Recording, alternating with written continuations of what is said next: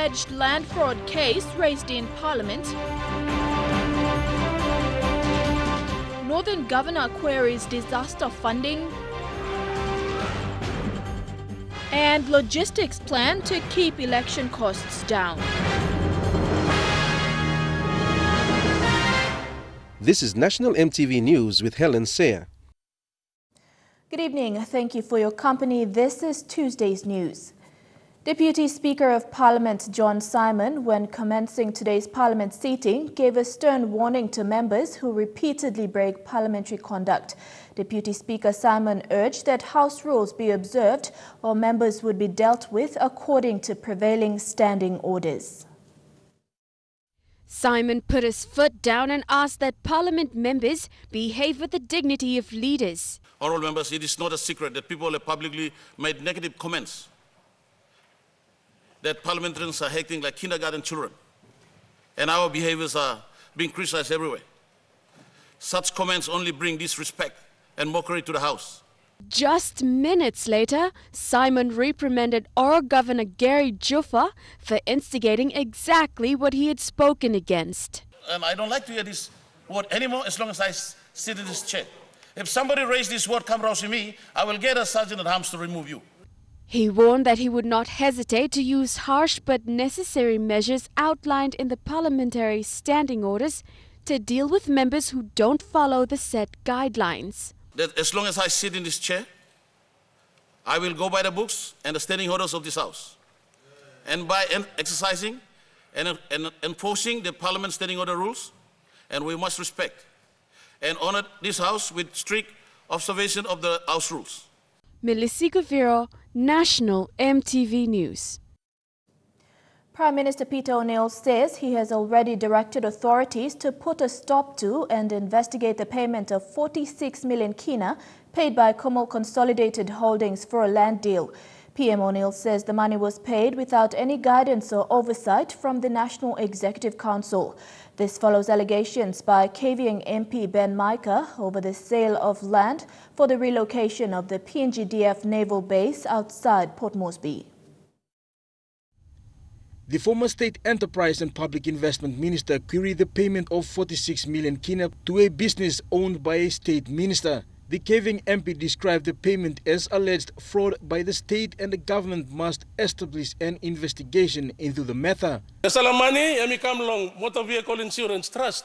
While we are looking at all the roads running down in this country, some of your ministers can see fit to get this money from motor vehicle insurance and put it into Kumul and buy a land to build a naval base 10 kilometers in the bush and no title has been transferred. Responding to the allegations, Prime Minister Peter O'Neill affirmed that attempts have been made to stop the payment. Me talking about Maxim Souls and this account is shut down, trying to save uh, that that account is shut down already. uh, Mr. Speaker, now we are going through how these things happen. And uh, once I have all the necessary information before me, I will make those tough decisions. Sinasina Yonggomugl MP Kerenga threw in a supplementary question calling for the Prime Minister to discipline individuals involved in the payment.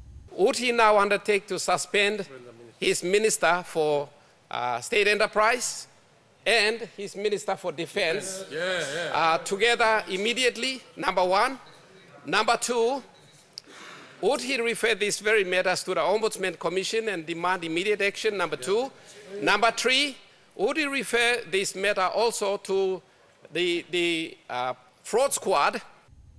The matter refers to a piece of land in Manu Manu outside Port Moresby following talks to relocate the PNG Defence Force naval base. The Prime Minister says NEC is aware of the payment which was made without the NEC's knowledge. Money go past law investigation and police commissioner. Me, I let him finish. Me talk sa ulo finish. Law invest in this transaction because me talk finish. Cabinet This is the second time the matter has been discussed on the floor of Parliament since it resumed for the year. Jack Lapave Jr. National EMTV News. Northern Province Governor Gary Juffa queried the 5 million kina pledged by the Prime Minister in 2012 for natural disasters in Northern Province. During questions without notice in Parliament this morning, Mr. Juffa said 2 million kina has already been received. He asked Prime Minister Peter O'Neill when the outstanding 3 million kina will be given because it has already been earmarked for the construction of a national disaster office for the province. The Northern Province has seen its fair share of natural disasters in recent years and months. The people have suffered in the face of heavy rains causing flooding and the washing away of vital bridges. The province's outspoken governor Gary Juffa, while thanking the government for pledging 5 million kina in 2012 and releasing an initial 2 million kina, asked when the outstanding balance would be paid. In 2012, the Prime Minister came to Oro Province pledged 5 million kina. Only 2 million kina was granted or given. 500,000 to each of the open members and 1 million to provincial government. 3 million kina to this day is outstanding.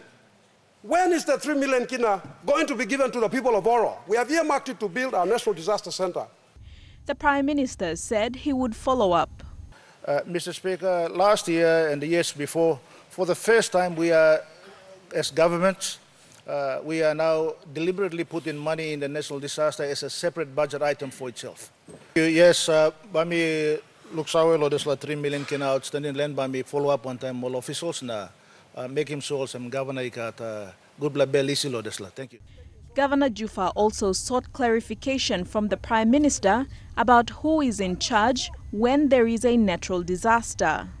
Mr. O'Neill said a separate office under the Department of Provincial and Local Level Governments manages all the provincial disaster offices throughout the country. It is governed by a separate law in itself, uh, Mr. Speaker. And of course, sometimes uh, when the uh, office uh, does not respond as quickly as it uh, should be, uh, Mr. Speaker, my office gets involved. And that has been the case on many, many occasions, Mr. Speaker, whether it be drought or El Nino, or whether it be landslips or flooding or uh, breaches falling down, Mr. Speaker. This has been the case from time to time over the past four or five years.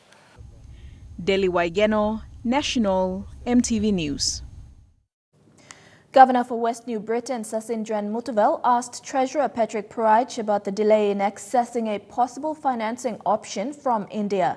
He said during the visit of India's president last year, the Indian government made a commitment for an Indian Exim Bank funding of 100 million US dollars with a low interest rate 1.75%. Governor Muthuvel said the money is for three earmarked projects in West New Britain, Madang and Western Highlands province. Treasurer Pruaitch explained that negotiations on this funding were ongoing. Mr. Deputy Speaker, Indian Exim Bank am number one time I mean like time long deal one time you me as a country. So he got all protocols belong him, he got all agreement and arrangement uh, that needs to be complied with before me go down long entertain him this uh, facility. Uh, me like I him governor also negotiations are ongoing and once we finalize the negotiation we will enter into uh, an arrangement, an agreement with uh, the Indian Exim Bank, and therefore we can uh, start to draw down on any facilities that is available for, for us through that particular bank. Thank you, Mr. Speaker. Education Minister Nick Kuman clarified reasons as to why vacant teachers' positions were not advertised for the last two years. He said under standard circumstances, the positions were submitted and published by mid-June-July and appointments made immediately after. According to Kuman, however, the department did not have funds to conduct advertisements and appointments or an updated list to work with for the years 2015 and 2016. He assured that the deferred listings for both years would be advertised this year and urged provincial governments to ensure that vacant positions are made available to help move things forward. Election 2017 is expected to be cheaper than the last eight elections. To help authorities ensure cost is managed well, a national logistics plan has been compiled for the election. This document was launched today at the PNG Electoral Commission headquarters. Amid some fanfare at the Electoral Commission headquarters, the logistics plan was launched. The launching followed another Interdepartment Election Committee meeting. The plan basically covers uh, three parts. One is the procurement management guide. Second is the logistic concept of operation. And third is the key logistic activities and timeline. Chief Secretary and Chairman of the committee, Isaac Lupari, said the plan will help them keep track of expenses and is confident of a successful election. Unlike in the past, the procurement, every service provider will have a contract. Contract will spell out exactly what the scope of uh, the work is going to be, the costings, and how the payments will be made and it will be signed off by uh, the electoral commissioner and the secretary for finance. Electoral Commissioner Patilius Gamato said this is a working plan because some aspects of the plan are already being implemented. Issues like procurement of ballot papers, the big ticket items, uh, the polling schedules are all contained in the plan. This plan cannot be read in isolation from the polling schedule. Uh, and of course, the the, the, security plan, which is going to be launched by the uh, police, uh, our security forces. While congratulating the Commission's management and staff, the Chief Secretary asked for support from everyone, especially towards the Electoral Commissioner. I'm very confident of the leadership that he is providing. And all the things that he has done so date has been in consultation with the all of government approach that we have put in place. The committee that I chair Sarah Aupong, National EMTV News. You're watching National EMTV News. Australian Federal Police support to Royal PNG Constabulary to continue. Arrested Mobile Squad Commander granted bail and East New Britain courts to clear backlog of cases. Don't go away.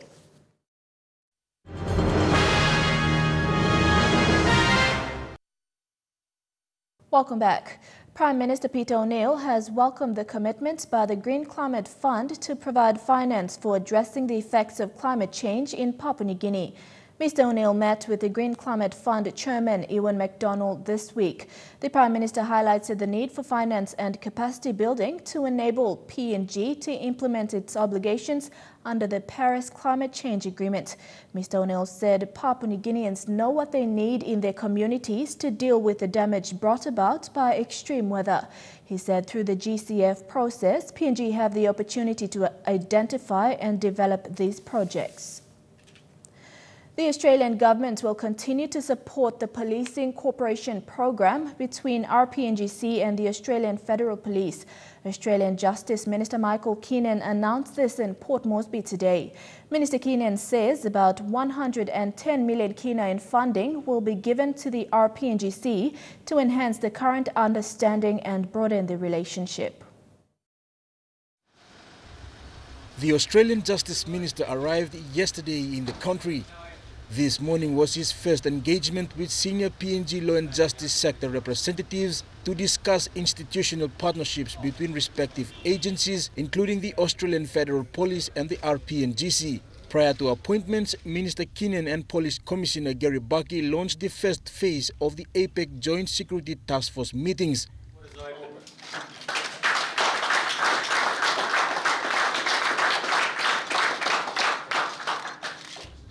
The financial support of 48 million Australian dollars will see AFP extend its engagement with the RPNGC for the duration of 18 months in different fields. Specifically related to the planning of the forum, providing specialist advice, training and rehearsing RPNGC capabilities in major event planning, close personal protection, maritime, canine operations, bomb search, traffic, airport intelligence and investigations. For the 2018 APEC meeting, the support and coordination will depend entirely on the cooperation between local law enforcing agencies, Australia and New Zealand. So the training has been redirected uh, to take care of our capabilities that we are lacking to build us up so that we provide a secure uh, environment for the APEC leaders when they get here in 2018. I am satisfied uh, with the progress of work that has been undertaken so far. Commissioner Baki is optimistic the APEC Joint Security Task Force will begin constructive meetings and prove PNG's capability to host the 2018 APEC meeting. Today marks the beginning of the challenge that is ahead of us.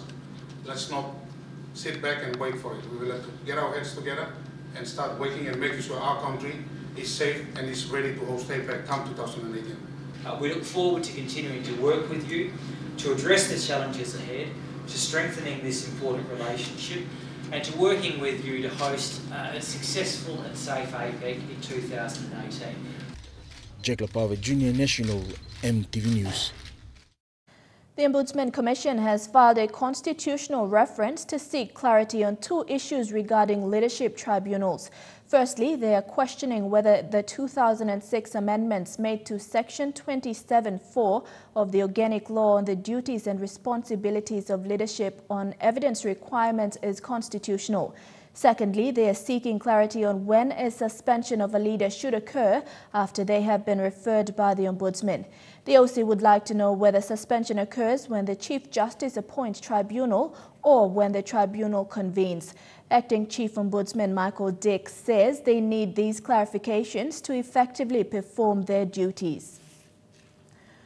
Stephen Numbos, the mobile squad commander who was charged for willful murder, has been released on a 1,000 Kina National Court bail. Numbos applied for bail on three grounds. They are his safety inside the Bomana prison, medical conditions, and his family's welfare. The application was heard at the Waigani National Court this morning. Tekla Gunga reports. Deputy Chief Justice uh, Gibbs Salika granted the bail using the court's discretion. Numbos bail conditions include that he remain in the National Capital District and Central Province until he completes his committal proceedings, not to consume any alcoholic drinks, and to report to the court registry every first Monday of every month. Not much details of the alleged offense was revealed in the court this morning. However, police alleged that Numbos killed a betel nut vendor in July 2016. He was arrested on the 31st of December 2016, that is seven months after the alleged offense occurred. Numbos has been remanded at the Bomana prison outside Port Moresby since his arrest. This morning he submitted in court that on January 14th this year, a group of inmates approached him in his cell block and threatened him. Numbos told the court through his lawyer that because he was involved in the apprehension and arrests of a number of inmates who are currently serving their jail terms at Bomana, his life is at risk. The state's lawyer objected to the submissions but did not assist the court on why it took six months for police to arrest Numbos, despite using the affidavit of the arresting officer. This bail was granted for the willful murder charge. Numbos is also facing a charge of being in possession of an unlicensed firearm and ammunition. That case is before the Boroko District Court and a trial date has been set for the 8th of February. Tekla Gunga, National, EMTV News. While this week marks the start of a new legal year, many things within the judicial system haven't changed. East New Britain resident Judge Justice Salatiel Lenalia says there is a backlog of court cases in the province which need to be put to rest. Yesterday, during the 2017 legal year opening in East New Britain province, Justice Lenalia said there are a total of more than 200 pending cases that include remandees, bail applications and trials they need to get through this year. Edwin Fidelis reports from Kokopo. This year will be another tough one for the legal fraternity in this part of the country. East New Britain's resident Judge Salatiel Lenalia has again brought to light one of the issues that is currently affecting the judiciary system in East New Britain province. In a list of figures announced by Justice Lenalia yesterday during the 2017 legal year opening in Kokopo, there are 91 remandees and 77 bail applicants waiting for their cases to make it into the courtroom to be finally settled. And Justice Lenalia says the court system in the province must take these outstanding cases seriously and attend to them. The total number of people who are waiting trials in our courts today is uh, 168 people number straight.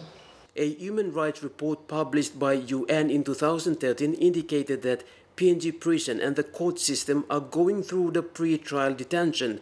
This means an accused person is detained before a formal court hearing, and most of them have waited far too long. Limited police resources to carry out quick investigations and shortage of judges and limited travel funds are the cause of the delay, the report stated. Section 37, subsection 3 of the Constitution says that an accused person who is uh, arrested must be afforded a uh, hearing within reasonable time. Last year, this scenario within the PNG court system prompted the Judicial and Legal Service Commission to appoint additional judges, hoping to fast-track these pending cases. But that is still moving at a slow pace. But while the court system has its own backlog of problems to deal with, the Correctional Service, the sister institution of the court, also has its equal share of problems. Prison officers have raised numerous complaints about overcrowding, food shortage, and hygiene and sanitation problems in state prisons all over the country, as most of those occupying the prisons are remandees, waiting in prison without any formal conviction. Edwin Fidelis, National EMTV News, Kokopo. Good discipline and fitness were highlighted as two key areas PNG Defence Force soldiers will be improving on this year. Head of PNGDF Brigadier General Commander Gilbert Toropo stressed this point during their 2017 dedication service this morning. The Brigadier General said those points make up the foundation of a good soldier. The service was held at the Sioni Kami Memorial United Church in Port Moresby. It was attended by senior members of the Defence Force from the headquarters, the 1st Royal Pacific Islands Regiment at Taurama, the training depot at Goldie, including naval officers and the Air Transport Squadron. The PNGDF commander encouraged his men to put God first in their duties and to be responsible for their reputation in the eyes of the public. The PNGDF commander said, though the service was to commit the entire defense force to God, individual soldiers must dedicate their lives also to God. The spiritual well-being, discipline, fitness are a core part of our PNG Defense Force existence and our livelihood along with our code of conduct that will continue to guide us as we move forward as members of the PNG Defense Organization. This is the third year the Defense Force has held a dedication service to ask God for guidance and strength in their work to protect the national security of Papua New Guinea. The first dedication service was held in 2015. Tekla Gunga, National, EMTV News. And now looking at our finance news, the Kina closed unchanged at 0.3150 US dollars in the interbank markets. At Bank South Pacific, your Kina was buying 0.3075 US dollars, 0.4047 Australian dollars, 0.2844 euro and 34.97 Japanese yen. Looking at commodity prices at New York close, coffee, cocoa and copra closed lower, while gold closed the day higher. Crude oil and copper closed lower, while palm oil closed the day higher. And on the stock market, the Dow Jones closed at 122.65 points lower. The ASX is trading at 40.62 points lower, and the Ordinaries closed at 39.31 points lower. Your Tuesday's news still ahead, an interesting campaign highlighting poor state of Madang roads and a trucking company invests in safety along Highlands Highway. Stay tuned.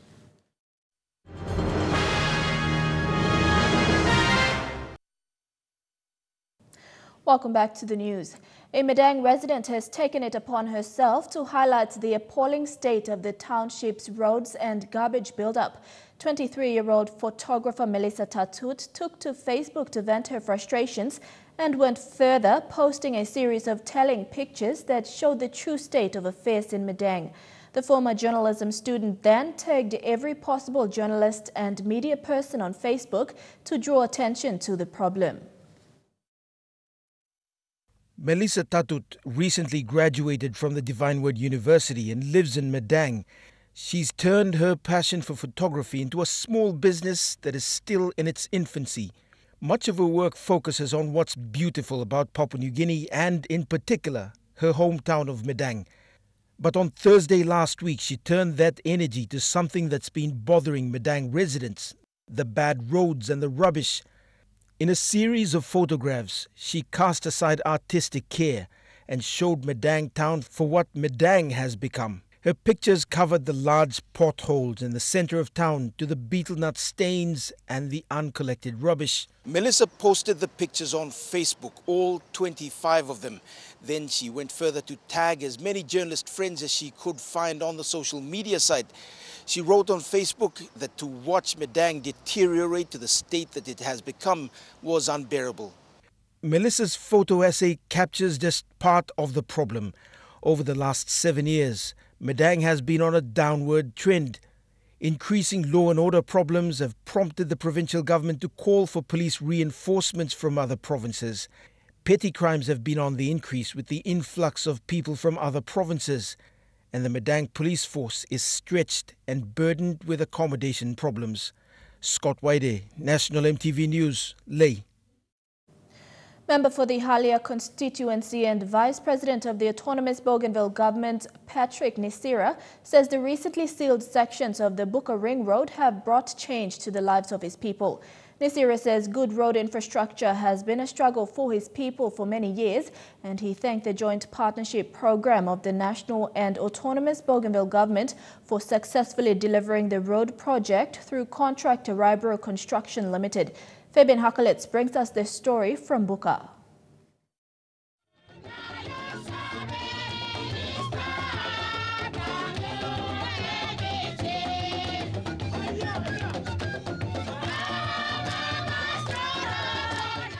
Words of thank you were expressed through songs and dances performed during the commissioning of the road over the weekend. This is the phase two of the Buka Ring Road upgrade and sealing 10 kilometers from Salasa to Hagus and Buka Island. Contractor Rybro Construction Limited was happy to hand over the road project to the autonomous Bougainville government.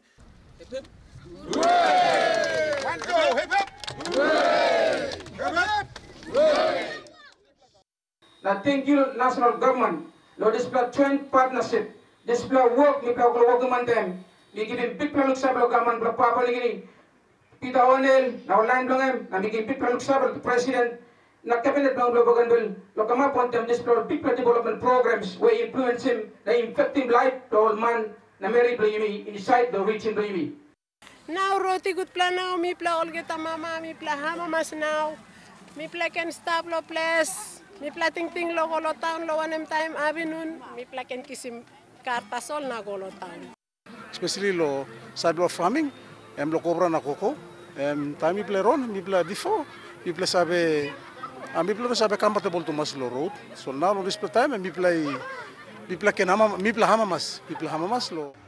Secretary of the Autonomous Bougainville Government Technical Services Department, Bernard Chilu was satisfied with the quality of work produced by the contractor. Uh, I am satisfied and our department uh, engineers are satisfied with the uh, quality of the work done.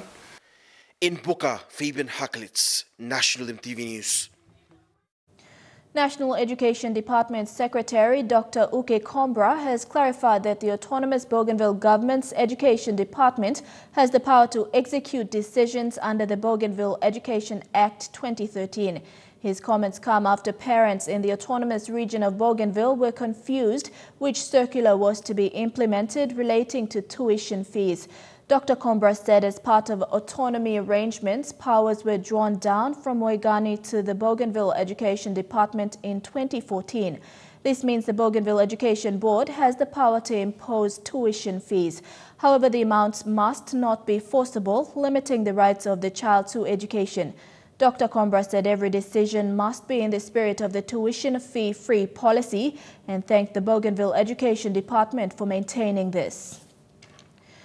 Bougainville Police Service Chief Francis Tokura says policing in the autonomous region of Bougainville is faced with many issues. One of them is juveniles. And a new draft policy protocol is said to be a paradigm shift for the Bougainville Police Service, which will provide a guideline when dealing with juveniles. Fabian Hakalets files this report from Buka. The week-long juvenile justice training ended on a high note with participants presenting a draft policy protocol to the Chief of the Bougainville Police Service, Francis Tokura. This policy will charter the implementation of the three acts of juvenile justice, Lukautim Pikinini, and the family protection by the Bougainville Police Service. And I'm very and I'm very impressed with the uh, the level of understanding that they had, having coming up with this uh, particular uh, policy. And I'm very uh, thankful that uh, we had the person like Mr. Kolopen, who is very experienced in a police officer, coming over to actually conduct the workshop with uh, assistance from other officers from within um, the law and such sector and, and our, our own uh, department as well. The policy protocol was drafted under the watchful eyes of the Community Policing Director, Superintendent John Kolopen. Put together a draft policy protocols for the, the Act that is the purpose. It's more like putting uh, manual guideline for them to support them in their daily duties when they come in conflict with the law, particularly the juveniles. Superintendent Kolopen was satisfied with the outcome of the juvenile justice training. The training was important, he said, to help the Bougainville Police Service understand their roles and functions, including the processes and procedures when juveniles come in conflict with the law. We're here to try and support them to understand and so that they can uh, um, progress juveniles when they come in conflict with the law using the process that we have under the um, Juvenile Justice Act, the Lukautim Pikinini Act, and the Family Protection Act. R. Sogen. Sir!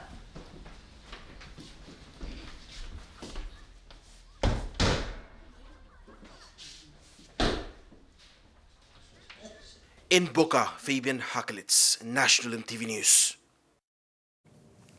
University of Papua New Guinea academic and non-academic staff are expected to receive their 2015 and 2016 pay increase by pay number 4 this year.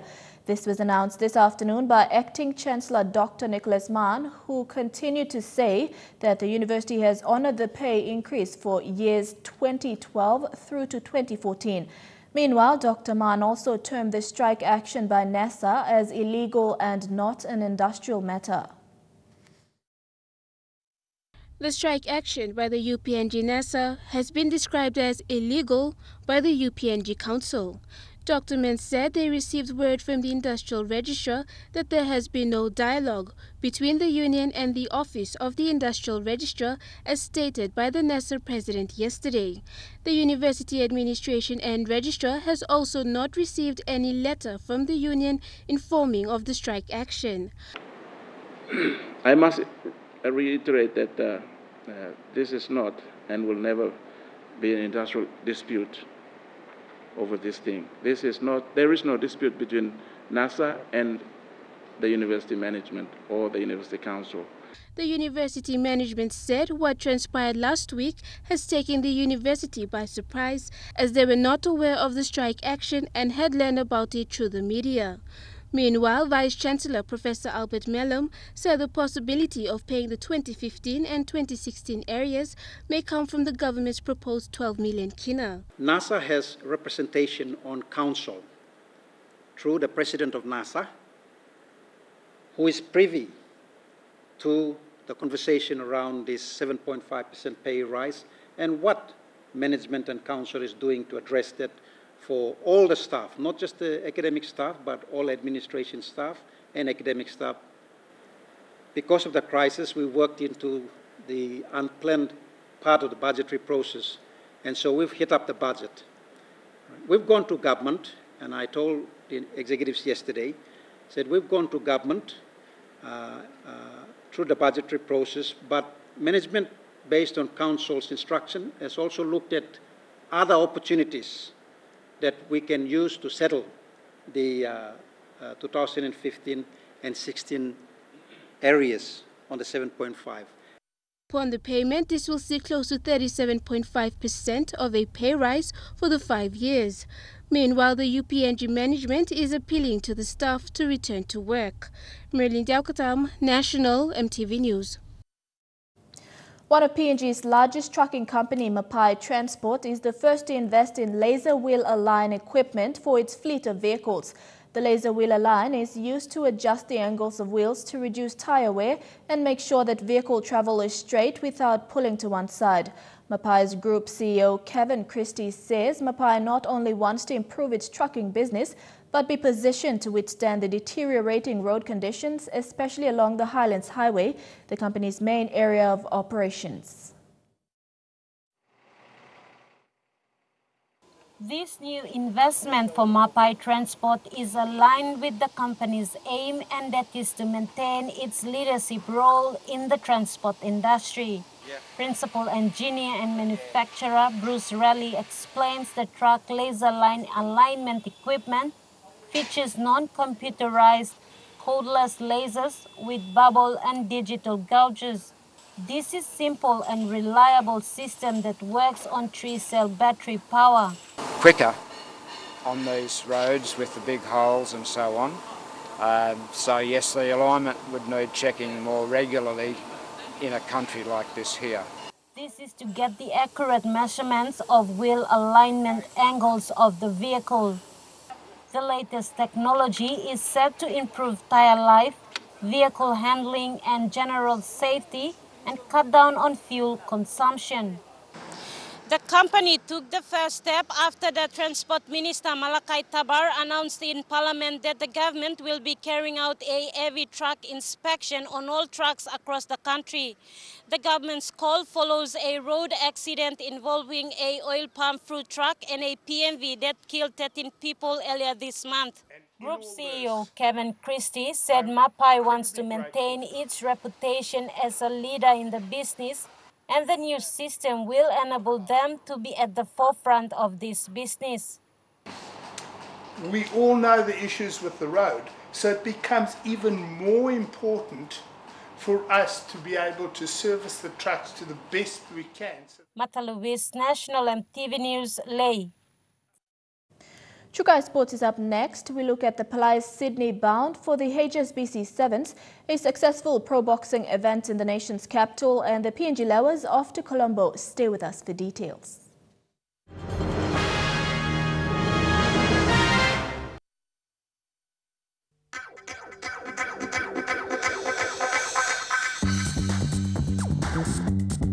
Trukai Sports.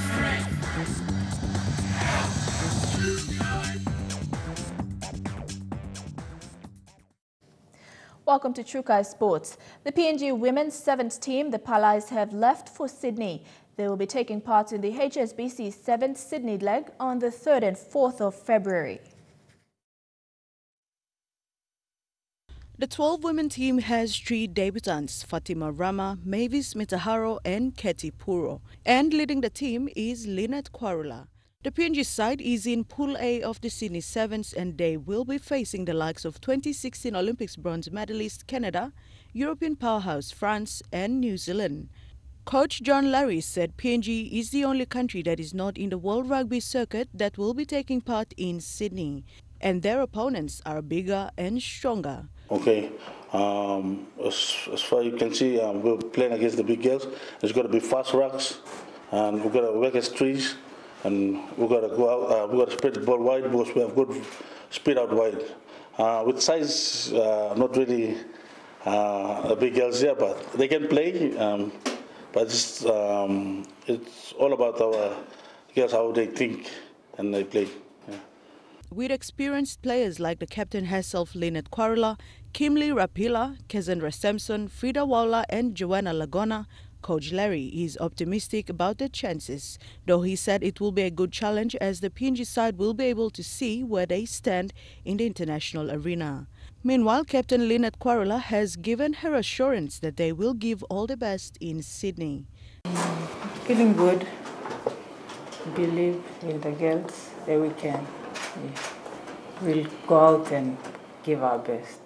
They will play the first match against New Zealand next Friday at 2 p.m. Dini Rose Raiko, National EMTV Sports. It was all-out combat for the 12 pro and amateur boxers who took part in the New Guinea professional boxing event staged at the Sporting Club over the weekend. Tournament coordinator Elvin Wafewa was pleased with the turnout of the competition, noting that a good number of amateur fighters did well against their more professional opponents and won.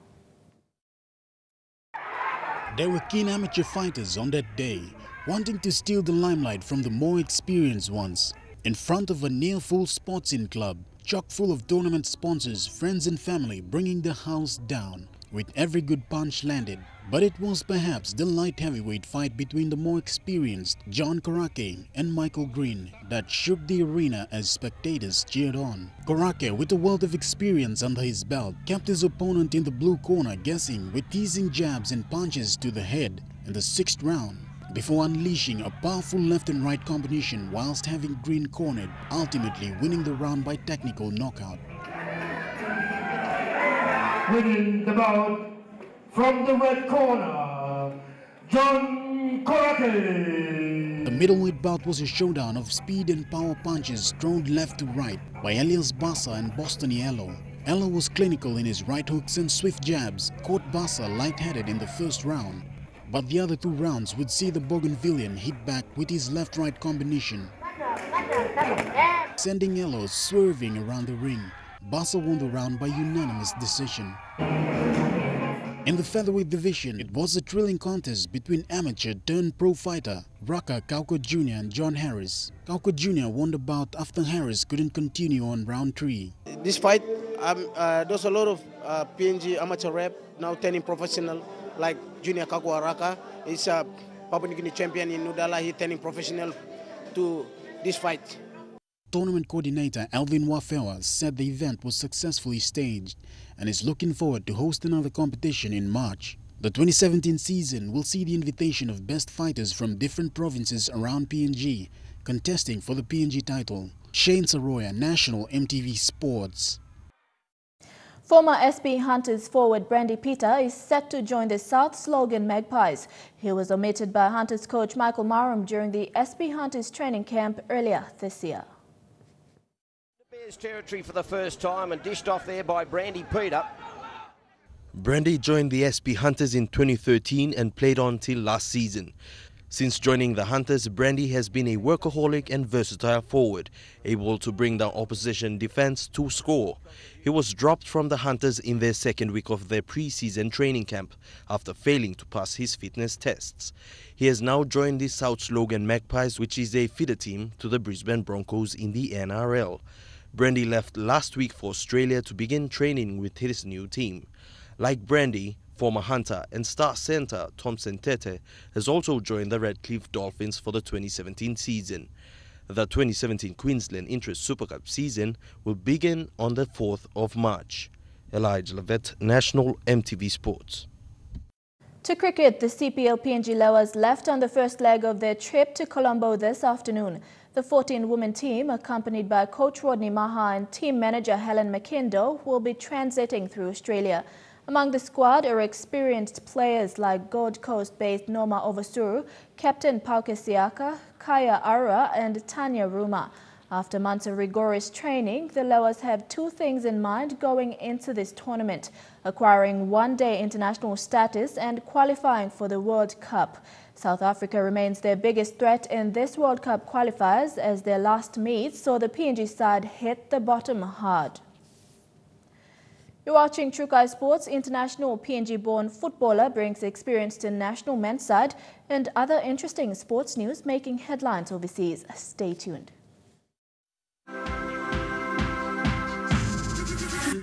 Trukai Sports. Welcome back to Trukai Sports. To football, the absence of a number of players from the current PNG men's train-on squad has created a window of opportunity for other players to stake a claim in the team. One of those players is Coogee-born Brad McDonald. But McDonald, who plied his trade with one-time Australian champions Central Coast Mariners, is hoping his experience will give him a spot with PNG.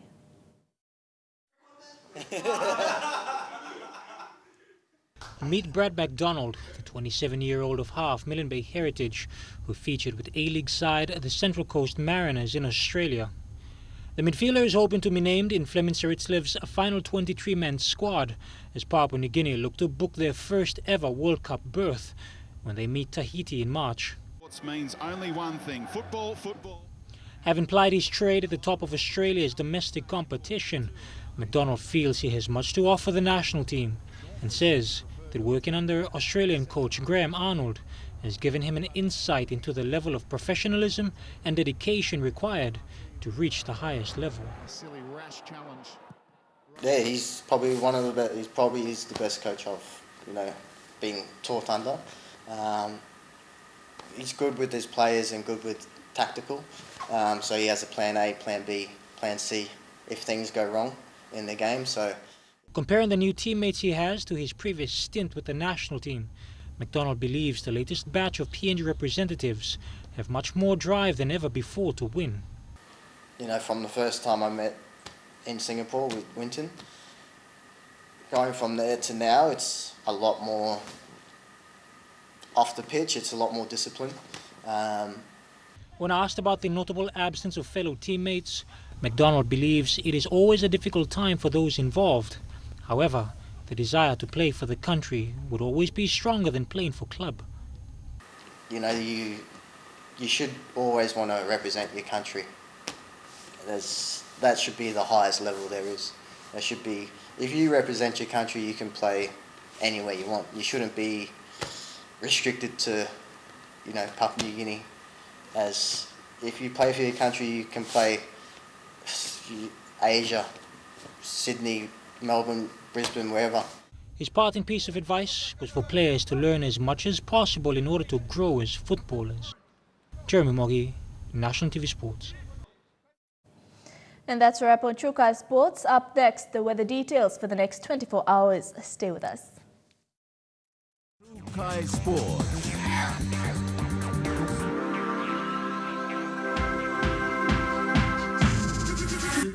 Trukai Sports.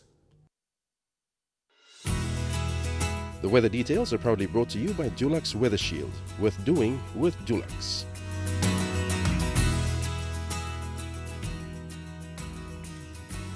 Looking at the weather forecast for tonight and tomorrow in the southern region, becoming cloudy with imminent rain showers and possible thunderstorms in Port Moresby.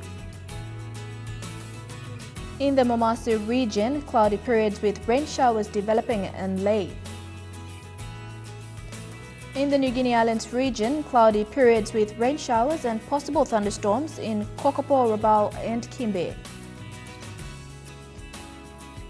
And in the Highlands region, rain showers, then morning fog in Mount Hagen.